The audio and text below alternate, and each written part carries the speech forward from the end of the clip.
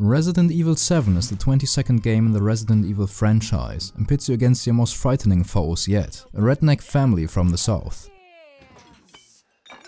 This iteration paints somewhat of a return to roots for the franchise, after the last couple games went all in on the overtuned schlocky action side of it, as this truly takes place in an evil residence, full of residents who are evil. Curiously, it carries the subtitle Biohazard, the very same title the series has in Japan. Though it's not much more Biohazard than any other of the games, it might just be a Japanese thing to make the original Japanese title a subtitle in the West for the seventh iteration of a long-running franchise. Ethan Winters, professional husband, travels to the least creepy looking house in Louisiana, for his thought to be dead wife could be here.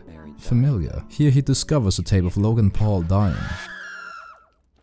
which clues him into this not being a very nice place to be, but does not discourage him from searching it further.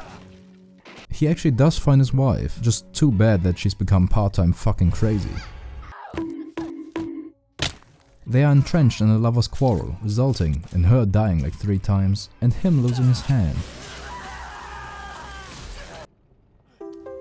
It is interrupted by some old dude who is now our father, perchance. Ethan is now part of the average countryside American nuclear family. Sadly, he immediately causes a very normal reaction by refusing to eat mother's beautiful Sunday supper. Lucky for Ethan, the doorbell rings just as the familial anger appropriate for someone not wanting that dinner reaches an apex. The family disappears, save for the probably very nice and certainly very quiet grandma. Ethan starts his exploration of the house to find a way out and find a way to save his currently slightly murderous wife. At least his hand has been restored, which seems like a slight wonder of modern medicine, and is confirmed to be an absolute wonder of medicine if you're unlucky enough to lose your leg to old Uncle Jack. Seems like American healthcare got an upgrade when I wasn't looking. Ethan makes acquaintance with a very nice cop man, who shall prove an invaluable ally. Oh no. We must fight off our pursuer. It is commit vehicular manslaughter or be vehicular manslaughter in these halls.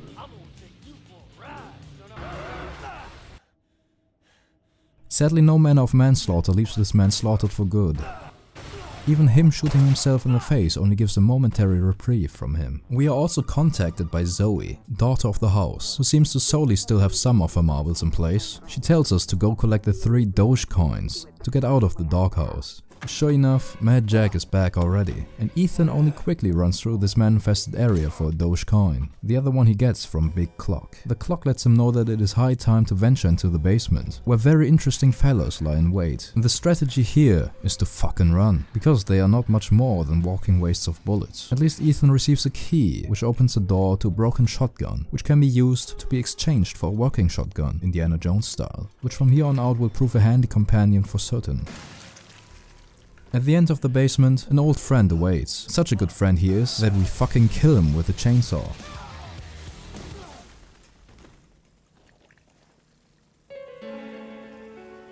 With the dog heads acquired, we are out of house number 1. Our goal though is not just to escape, but to find and ideally cure Mia. So the next stop is the insect infested old house, which reversal itself is not fun. Hans gets the Flammenwerfer. No, that. That is better indeed. No slight problem here is the lady of the house, Marge Simpson, who is out to get us. I think she may actually have won the Insanity Olympics over Family Guy. I do not enjoy her company whatsoever. In this very auspicious place of the mansion, we need a lantern to tip a scale. Of course, we just fought a lantern carrier mere seconds ago, so we go back to gather it. What? We follow Marge to the greenhouse, where horrifying things take place. After exterminating more bugs and cream pieing the lady's crotch with a shotgun in flames, she is exterminated for good. We can go through this here door now, behind which it is mysteriously dark and suspiciously quiet. At the end of it, a grave, or an altar? Who can say? All I know is that it is time to steal the girl's corpse's arm, for it is necessary. Sadly, this summons the SCP-type beat mold creatures. Ready to meet up with Zoe, something unexpected happens. The third of three evil family members we know of has kidnapped her. He was nice enough to prepare a nice dungeon full of traps and mold people to stop us which doesn't stop us. He has also prepared a Saw Trap game, which we cheat on by watching a let's play of it beforehand. He was too lazy to change the password to a decisive part of the puzzle, meaning we can skip most of it, including the fella's deathly trap. This has the hillbilly inbred psycho son so angry that he auto force out of the game and never shows up again. Unless you play the DLC, I guess. We are reunited with Mia and united with Zoe, who prepares two doses of serum which costs an arm and a head. We are also reunited with Uncle Jack, who's looking good? I guess? Well, he's definitely looking to kill us. But we are in luck for he has the classic video game eye weak points all over his body, which we use to stop him. We do not stop him quite enough though, which is why we need to use up one dose of the serum to kill him. Due to this, we are faced with a dilemma which was tagged onto this game late in development, so I've heard. Save Ethan's wife, the reason why we're here in the first place, or this random lady, who to be fair did help us out a lot. This might be Stockholm Syndrome, but we're choosing the wife here for reasons of lore accuracy. If you're curious what would have happened otherwise, Zoe just basically dies immediately. Then Mia also dies. And Ethan goes home depressed. This ending isn't canon anyway, let us disregard it. We escape in a boat, but there's always a bigger boat. And Ethan is stuck in black goop, so Mia must now venture through this big boat in a search for Ethan and the truth, which had been missing from her memory. Now the boat level is pretty boring, but it has pretty good environmental storytelling. Like this guy, he was definitely at Taco Bell last night. There's a strange child on the boat, name of Evelyn, who has history with Mia, as she soon remembers. Mia and some guy were on this boat to transport the girl, whose real identity is a bioweapon, who was programmed to be a girl. But things went haywire and she started turning people into blob creatures. She's vomiting. Yeah, that happened to my buddy Eric once actually. She wanted these two to be her parents, which they weren't ready for, so she settled for infecting them with the blob disease instead.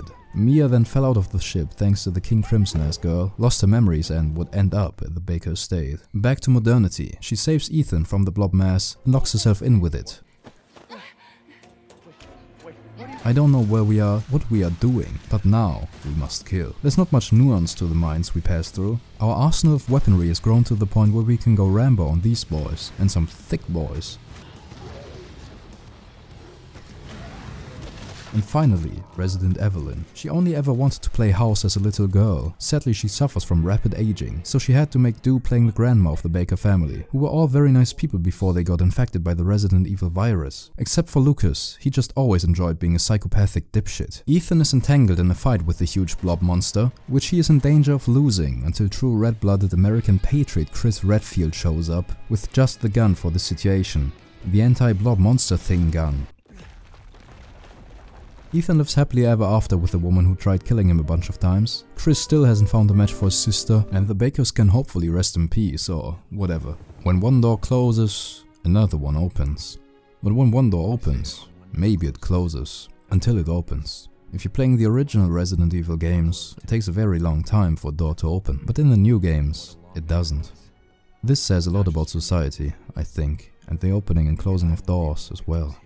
Because when one door closes, another may open, but sometimes when a door is